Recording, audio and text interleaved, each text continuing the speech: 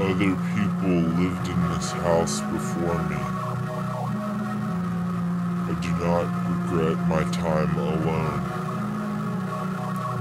I like to eat my dinner in the mirror and pretend I am watching someone else. The door inside the coat closet shudders and sometimes there is scratching. The door inside the cabinet under my guest bedroom sink has a pattern on its face. I frequently receive calls from a woman who keeps asking to speak to the man of the house. For weeks, all of my outgoing mail came back returned to sender. I like to take pictures and hide the film. The door under my bed is installed with a small window. Through the window, I can see into another family's home. I watch them eat breakfast and clean the dishes and discuss the matters of the house. They do not know I can see them, or if they do, they don't let on. Once someone knocked on the door inside the dishwasher. It shook the counter and knocked a picture off the wall. The dishwasher was on heated dry cycle, and I did not want to open it in fear I'd burn my hand. By the time the cycle ended, there was no knock. The door in the floor in the sunroom changes colors with the weather.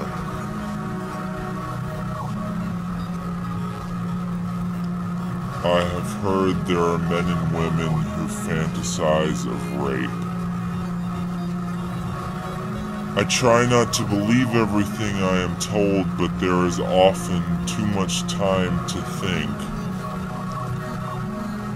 When I receive a call from a wrong number, I try to keep them on the line as long as possible.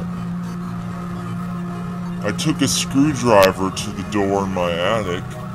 I broke three fingernails and scratched the paint. I went to the hardware store and bought a pickaxe. I chipped and chapped and swung. I could feel the burn in my arms for weeks.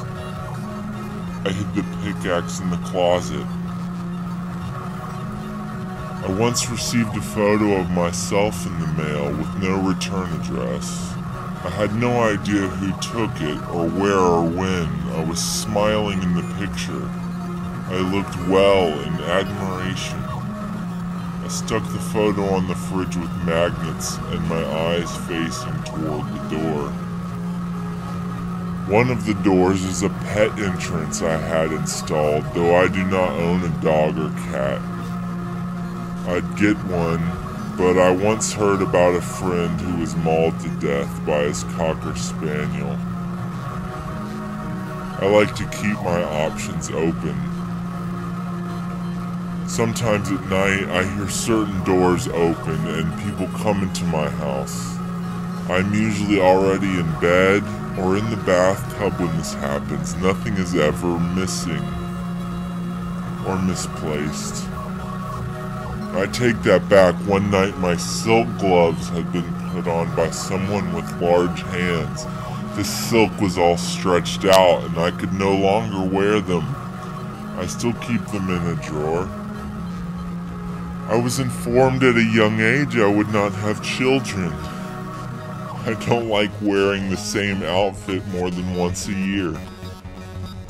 The only door I ever opened was in the crawl space under the den. It was unlocked and came right open. Behind the door there was a corridor. It was well lit with fluorescent panels, and the air was cool. There weren't any other doors or pictures. It went on and on and on. I walked until I had to sleep. I woke up, I went back. The door beside my front door often confuses me when I am tired. There are several large bumps underneath my hair. I dreamt there was a door in my stomach. It was gray and had a curtained window. I could feel, feel the doorbell on my tongue. Some nights I lay in bed, my face pressed against the door, lodged in my headboard. I hold my breath and I listen. Other nights I sleep.